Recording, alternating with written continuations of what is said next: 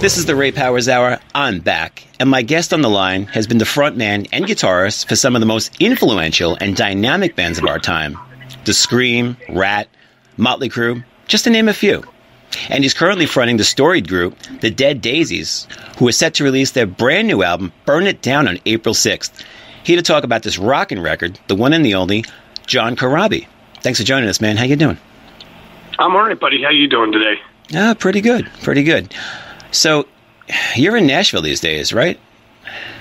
Yeah, I've been here about um, 10, 12 years, something like that. You been and, a while. You and everybody else. That town just gets bigger every time I go. It's like it's like Vegas. It's just blowing up. Yeah, and I'm not sure if I'm digging it to be I honest know. with you now.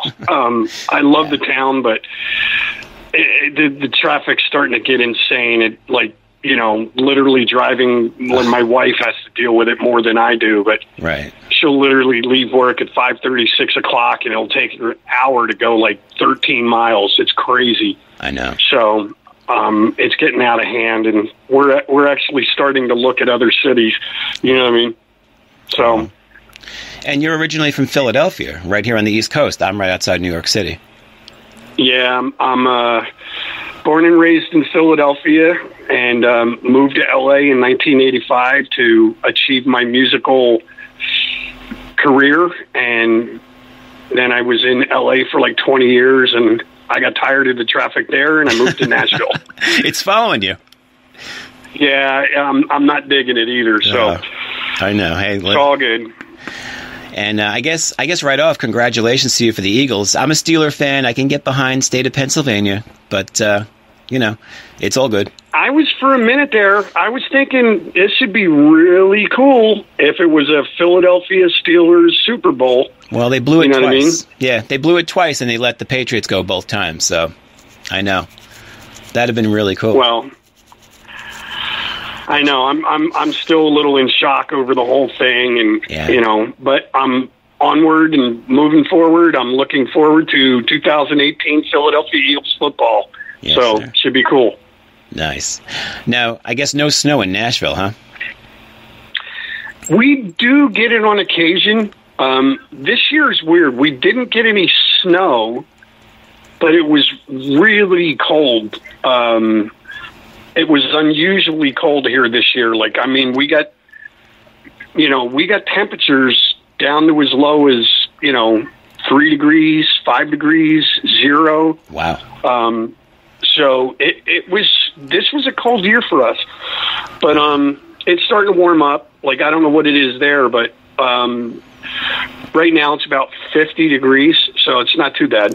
Well, it's been 30s, but that just means it's been wet, heavy snow. But uh, we're Uh. supposed to get more, but it's winter. What can you do? Well, I'm going to be in New York in a week and a half, so I'll I'll I'll know I'll, I'll know how to pack. There you go. Cool. Now, I want to get to this album and talk about the Daisies, an Australian based band that's been known for members coming and going. But I just want to touch upon your extensive resume briefly to map out what led you to the Daisies. You sang for The Scream, you cut a masterpiece album with Motley Crue, a stint with Ratt on guitar, you form union with Bruce Kulick, you've got solo albums, appearances on various tribute albums. How do you wind up as part of the Dead Daisies? Um, well, I think all the stuff that I did in the past um, got to a point where you know they had a singer prior to me Right. in the Daisies named uh, John Stevens who sang with INXS, Right. and um, John's also he was in the Daisies, but he's also very much in demand singer, uh, solo artist, and um, you know, so there was a point where they had some trips and tours lined up, and John couldn't do them. So they called me up. Marco actually called me, Marco Mendoza, and asked me to check out the band. And I, I went and I flew out to LA and met everybody. Uh, I knew most of the guys, but I didn't know at the time it was Richard Fortus on guitar and David Lowy.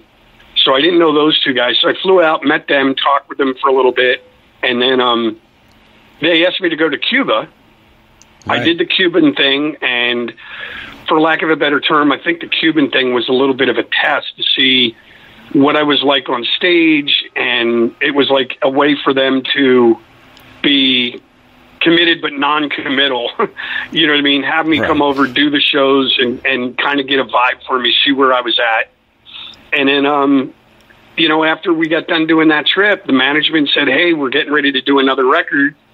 Would you like to do an album with us?" And I I thought the band was great. I'm like, "Yeah, sure." So I, that was in 2015, and here we are, three years later.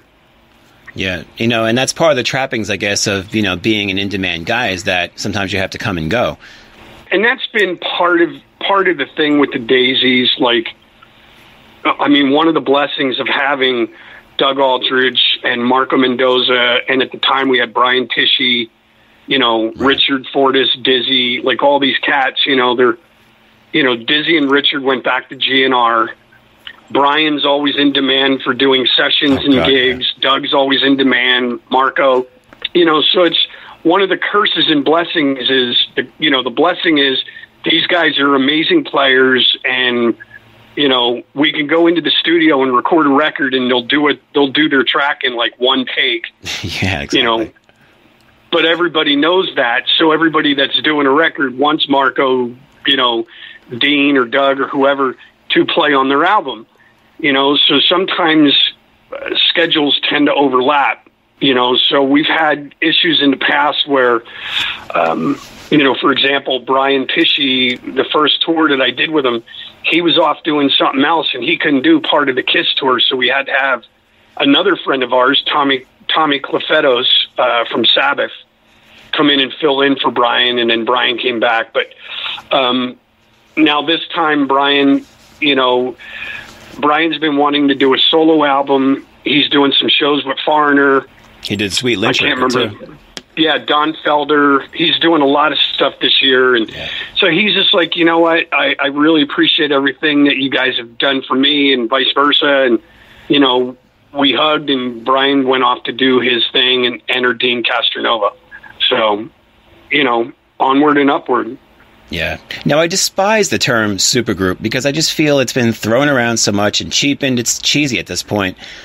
Having said that, this band is always and always will feature top-notch players. As you said, currently it's yourself, Doug Aldrich, the founder David Lowy on guitar, Marco Mendoza on bass, and as you said, Dean Castronovo on drums. And I mean, you've Yeah. you've even had two guys in the Rolling Stones in this band. It, it's just amazing the amount of talent. Well, it, it, the, the the thing of it is, with, like I said, Daryl and and um, Bernard. Bernard, they they came over to Cuba with us, and they were just part of the they were part of the show. right. Um, you know, there was a few songs like I sang, you know, maybe seventy percent of the set. Bernard came up and sang the other thirty. There was some stuff that we did together. So he he was he was part of the show. Daryl Daryl at one point, Marco when Marco first hooked up with the Dead Daisies, he had some prior commitments with um, Black Star Riders. He was playing with so or Thin Lizzy. I I think they were still billed under Thin Lizzy at the time. Marco was playing with them, and you know he had done this. He had done some recording with the Dead Daisies, but he couldn't do a few shows. So we brought Daryl out, and he, you know, Daryl filled in for him. So a lot of the names that are on that list are just friends of ours that have done a few shows with us to some degree or another, or they just filled in for one of the members of the band because they were unavailable at the time. You know, they haven't really been members, right. but um, you know, I think the band is we've we've kind of we've kind of got a solidified lineup now, and we're looking forward to 2018. You know, Yeah. Now, was that a challenge to adjust to you know all these new members coming and going, and or are you guys just that locked in where it's like, all right, here's the core, here's some new pieces, these guys are pros, and uh, that's part of the deal is you just have to vibe.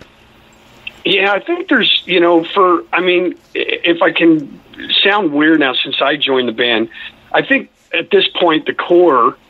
Um, the one, the common thread that's been through the last four records has been David, Marco, and myself. Right. you know, like I said, had had Dizzy and Richard not gotten a call to come back and do that big reunion tour with GNR, they'd still be here. You know what I mean? Absolutely. Um, so Doug came into the picture, and it was Doug, David, Doug, David, Brian, Marco, and myself, and we did two records with that lineup and did two full tours. And then I think it, Brian was just Brian's. He's a funny dude. Like Brian's got so much energy, and his brain is all over the place. Like he's got his Randy Rhoads tributes he's doing. He does his Bonzo bashes. He's also a, you know, he's not just a drummer. He's a very accomplished musician. So he's been talking about doing a solo record forever. He's very much in demand for guys like Don Felder, Steven Tyler, uh, now Foreigner. uh, You know, so you know, I think he just, I think he took the Foreigner gig because they're not going to play as much as we will over the course of a year, Right.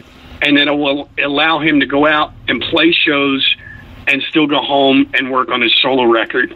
So, you know, we brought Dean in. Dean's happy to be here. He's really excited about um, getting out and playing on the road again, and you know, so we just got to do what we got to do, and we're moving forward. Absolutely. This is the Ray Powers Hour. My guest on the line is John Corabi. We're talking Dead Daisies here. Now, Burn It Down is the band's third studio album, right? And your second with the band. No, it's my third. Oh, it's your third? band. Okay.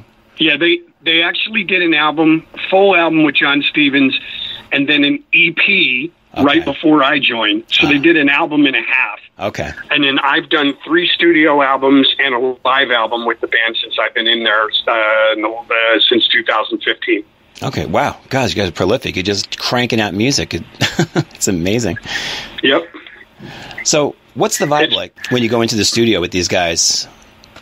It's pretty amazing to be honest with you. Like prior prior to joining the Daisies, you know, pretty much every band that I've been in, like the Scream, we got a record deal and they said, Okay guys, go right. And we put material together for the better part of a year. Right. And then the same with Motley. We got together, I joined the band, and we wrote for a year, maybe a little more, and then went and did a record. And the same with Union. Um, when Bruce and I first got Union together, we were just writing with the producer and putting ideas down, and, you know, for the better part of a year. The thing with the Daisies, it's it's really spontaneous. I, I can't explain it, and like a lot of people are kind of blown away by it, myself included. At the fact that we will go into a studio, all three studio albums we've done, we went into the studio with nothing, and we sit in a room to, together. Everybody's got an acoustic, and we'll write 15, 17, 20 songs, like but loose. They're like little maps. Right. And then we're like, all right, yeah, this sounds cool. We got it. Go into the studio and we start tracking. While we're tracking, we're tweaking. And then I go in and I start writing lyrics, sometimes by myself, sometimes with the other guys. But I'll sit down and write lyrics and then I start singing. And even while I'm singing, I'm still tweaking stuff and we just go. And we have literally done pretty much every studio record we've done. We wrote it, recorded it, mixed it, mastered it, and did the artwork in about five weeks. Wow. I was going to ask you how long you spent on this, and I didn't think it would be that long. So, yeah, you were pretty much, uh, I was thinking about four or five, six weeks. Wow. It, yeah, well, it's the first record we did. In, it, it, it was exactly one month. We did uh, from March 10th to April 10th. Wow. And then after that, there was, you know, we started working with Marti. And you know what? It may have been sooner. It could have been sooner. But both records we did with Marti, we took, um, you know, a couple days, little breaks or whatever, because a lot of people don't realize it. But Marti not only is a producer and a songwriter, but he's also the guitar player in Steven Tyler's solo band. So we might work for a little bit, and then Marti's like, all right, I got to take like three days off. Steven's got you know, two gigs this weekend, and so he would go off, and you know, he would. So we would take a little break and then come back or whatever. But it's it's pretty quick, man. It's like you know, probably on average, if we actually put the time that we work in the studio, it's probably about a month. You know what I mean? So I'll say four to six weeks with breaks and everything like that. It's it's pretty it's pretty quick. Marti Frederiksen has been turning out hits for a very long time, and uh, I can't wait to uh, unleash this song and this album on the public. So, Burn It Down is slated for release on April 6th, but the lead single, Rise Up, is out and it's already making noise. I'd love to play this cut for everyone. What can you tell us about Rise Up as the frontrunner single of this rockin' album? Rise Up is um, it's actually a very I, I don't know. We we it, we we were working on it, and we were just kind of blown away. We're like, oh, this is cool, man. It's like old school Sabbath. So it's a bit angry. It's a bit aggressive, you know. And lyrically, it's just um, it's really kind of like I, I don't want to say taking a piss out of, but it's kind of telling everybody like, you know, this stuff that we see that's so prevalent every day you know, especially in America, the divisiveness between people. You know, e- even in our politics, you have a conservative party, liberal party, and it, it, it's it just never ceases to amaze me that these people will get online and they'll say something about um, President Trump, and then the other party comes in and they just immediately start attacking and insulting and talking about how horrible past presidents were and just like, you know, yeah. and, it, and it's just like, seriously, at the end of the day, to me, all your politicians, whether they're Democrats or Republicans, to me, they're a bunch of career criminals Absolutely. that are lining their pockets with lobbyist money. They're, they're not there for the betterment of the, the, the working guy. No, they don't like, have your. They're sitting there negotiating whether or not we have health insurance, but they're all getting theirs for free. Of course. Um, you know what I mean? And I'm just sitting there saying, like, even the Declaration of Independence, the first three words are "We the people." Right. I, it's either the Declaration of Independence or the Constitution, the Constitution, but it says "We the people." And my thing is, you know what? If you want change, you want to correct things. What we need to do is, as people, liberals and conservatives, we all need to bond together and we need to hold them all, liberals and Democrats, all accountable. We put them there. Now they're just sitting there and they're making their. I, I think I just read somewhere like um, the minimum salary for a congressman is like almost a million dollars a year. That's insane. I was going to say that. Wait, that's more than the president makes. Double what he makes. Well, yeah, because but the the president is making four hundred fifty thousand dollars a year, but you know, he's got his travel things, you, sure. you know, everything's taken care of for the president. True. You know, but these congressmen, they have expense budgets, they have spending budgets, then they're getting money from, you know, they're getting money from lobbyists, senators, all these guys. You know what I mean? Like whether it's pharmaceuticals or insurance, and at the end of the day, I think most people. Um, regardless of your political affiliation. I think if you sat down and put two people, a conservative and a Republican, in a room together and said, What concerns you? They would say, Well, I just want to be able to buy a house. Right. I want to be able to, you know, I want my kid to be able to go to college without breaking the bank and being, you know, 200,000 in debt by the time he gets out of college. Um, I think I would like to have health insurance that's affordable for me and my family. I'd like to be able to buy pharmaceuticals that aren't going to break the bank. You know what I mean? Table, Whatever. Sure, yeah. You know, I, I just want a happy life. I want a stress-free, happy life. And I think at the end of the day, if you talk to most people, we all want the same thing. Right. So I, my thing is rise up. It's like you know what Let's all bond together, rise up, we the people, just like that document says, and we need to hold them accountable and say, you know what, this is what we want. And if you can't make it happen, we voted you in, we'll vote you out, we'll get somebody that can do the job. Again, I'm not taking a piss out of conservatives. I'm not taking a piss out of uh, Democrats or liberals. I'm just saying they're all career criminals. They're they're there making a lot of money on our behalf, and it isn't trickling down to us at all. No, we're very largely, by and large, centrists, and like you said, you know, we just want to get through, get through the day, and uh, you're right, they work for us. Well, I'm fired up. Let's go play this song for everybody. This is the Dead Daisies. This is Rise Up, the lead single from the Dead Daisies' brand new album, Burn It Down, on the number one show for new music, The Ray Powers Hour. You got it locked into the number one show for new music all over the world, the Ray Powers Hour. That was Rise Up from the Dead Daisies. Brand new album, Burn It Down, available on April 6th. My guest on the line, lead vocalist of the Dead Daisies, John Corabi. Well, man, that is a hard, nasty song. I heard the Sabbath influence with the tuned down guitars, and, uh, you know, I can use that to work out. That is a great song. Yeah, I, I got to admit, the last couple weeks I've been trying to work out and start getting shape for the tour, and it's definitely one that I put on. You know, but I, I, I think overall the record, overall the record is um it's a bit heavier than anything we've done, but not it's not so heavy where it loses the melody. So um, we're pretty stoked about it. It's awesome. And you have your spots like "Set Me Free," where you kind of just you lay back a bit, you know, and let it groove, which Yep. is really cool.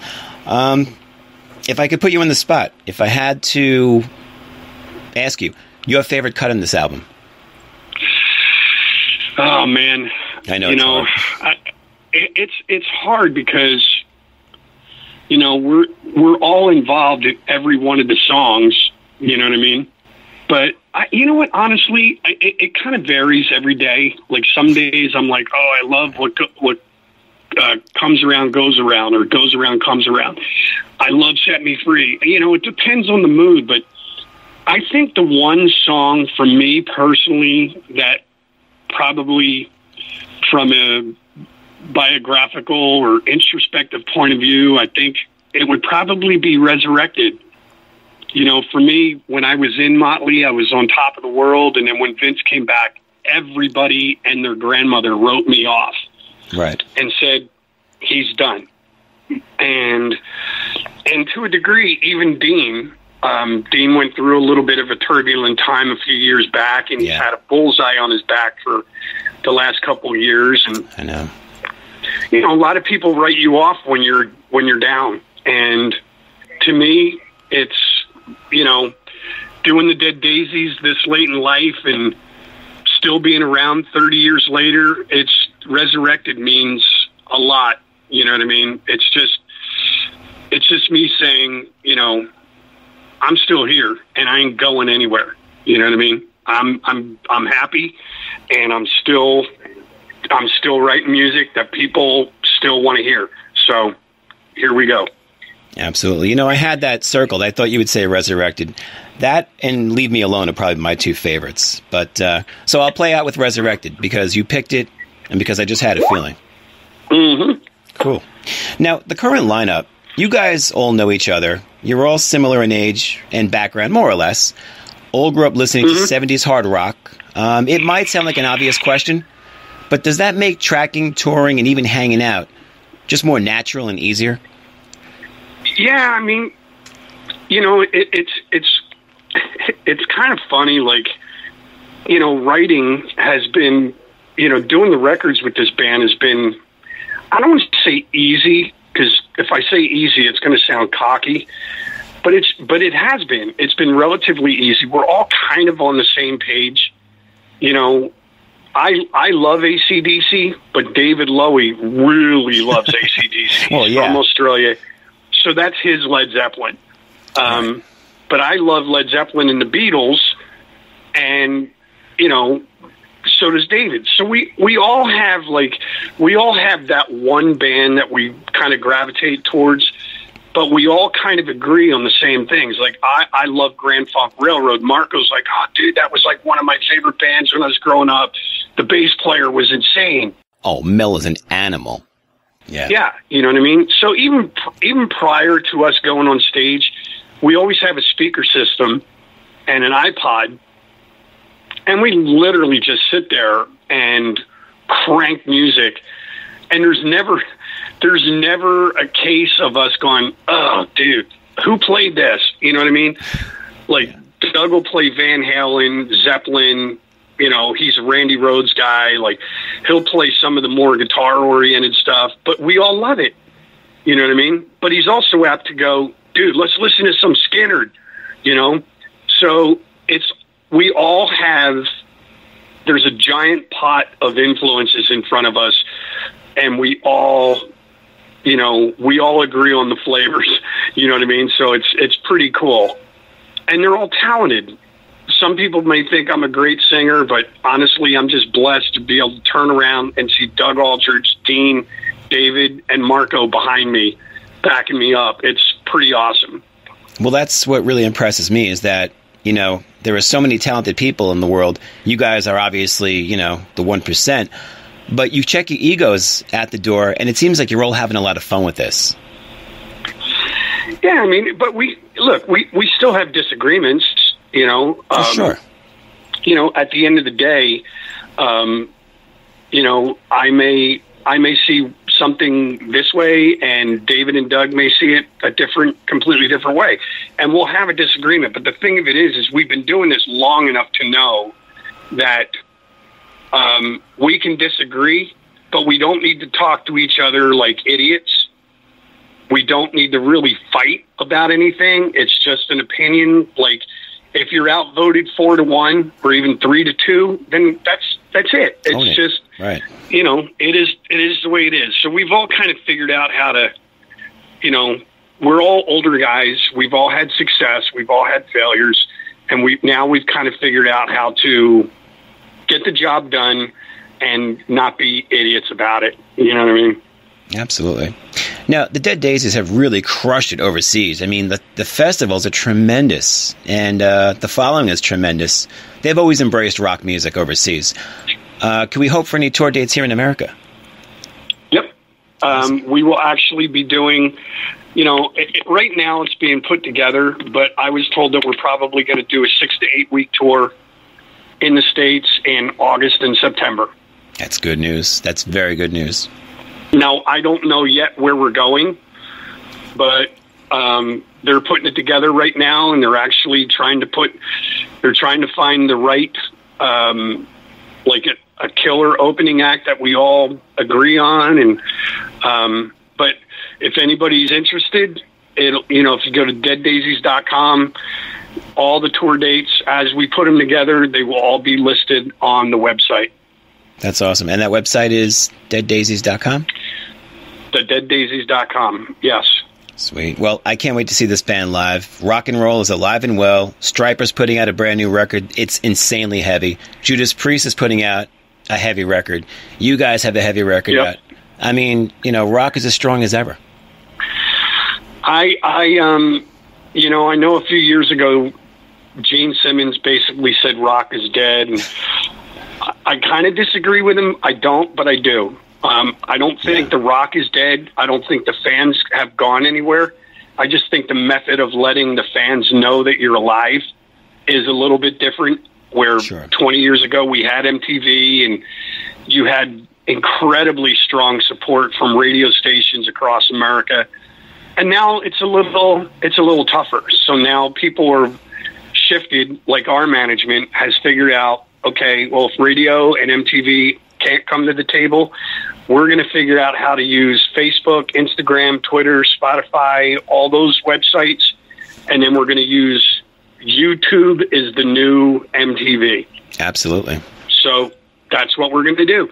And they've done, I got to give them credit. You know, this whole thing from top to bottom, we have incredible management, we have incredible PR people the band is awesome. We're writing great records. Our label support is amazing. And then at the end of the day, our fans are out of control. I just did some acoustic shows about a week and a half ago, and I literally had fans in New York City and Connecticut. One fan, Alex, came from Rome, Italy. Oh my God. flew over to see my acoustic show and then flew home the next day. And then there was a girl named Sashiko that came from uh, Tokyo and flew over to see me play in New York and Connecticut, and then flew home. So our fans are just they're just amazing. They're incredible. So the whole thing from top to bottom has just been an amazing experience. Wow, I can't top that. I did New York to Pittsburgh to come out with you and melt with you guys. It was 100 degrees at the Hard Rock at bike night uh, about six, seven years ago. I can't beat Rome or Japan. They win. yeah, it was. Um, I was shocked when I walked in and saw them. I'm like, Alex, what are you doing here? He goes, I came to see you, buddy. and like, you know, and and it's weird. Like, you know, I know now. Like after all these years, like I've got. I've got friends now in places like Norway and Italy and, you know, promoters and different fans that I've met that live in Venice. They're like, "Come, stay. in My, I have another house. You can use my boat and use my house." And you know, so we have friends now all over the world that are just amazing. You know, can't top them. You know, and that's the lifeblood of this business is the fans and the energy that they bring. Yep. It's amazing. Well, John, I could talk to you all night. I know you got a ton of PR to do, so I'm going to let you roll. Thank you so much for this. Uh, Spitfire Music has put out this amazing record, The Dead Daisies. Get it on April 6th. The single is Rise Up, and the album, Burn It Down. John, thank you so much. All right, buddy. Thank you. All right, bye. Bye. The Ray Powers Hour.